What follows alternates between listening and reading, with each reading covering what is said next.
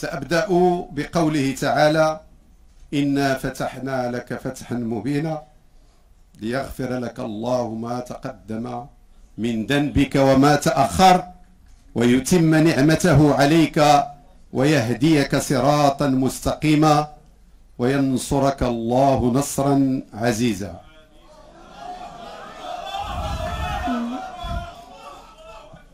هو الذي أنزل السكينة في قلوب المؤمنين.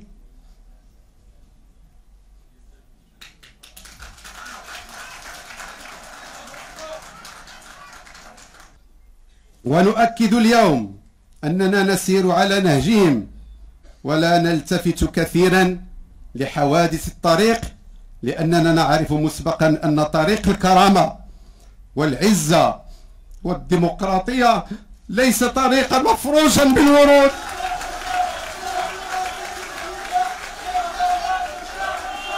لست في حاجة لدروس من أحد في الوطنية. فأنا أعرف أن الوطن أكبر من شباط وأكبر من الجميع وأن الحزب أكبر من شباط وأكبر من الجميع. لكنني أعلن اليوم بصفة رسمية أنني كشخص لن أدخل الحكومة المقبلة وأن من يتبج وأن من يتحججون بشخصي وباسمي أعرف لماذا. هذه قناعة وكذلك قطع الطريق على كل متربصين بحزب الاستقلال.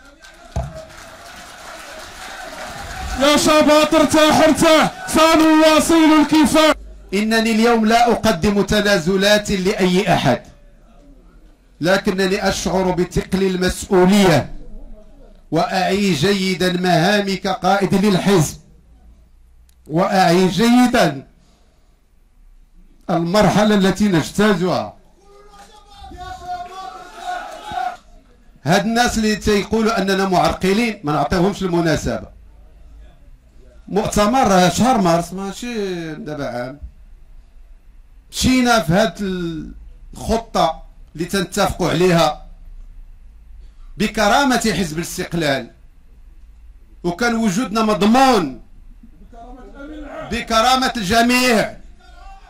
الأمين العام الأمين العام يحرص على كرامة كل مغربي ومغربية. كان بزاف علينا وبالسيف علينا. بالسيف علينا. ولكن يوم 11 يناير 2016 اجتمع شملنا الحمد لله اليوم نحن أقوياء. سننتصر ونحطم قلوب الرجية. سننتصر ونشيد قيام الحرية. الله أكبر.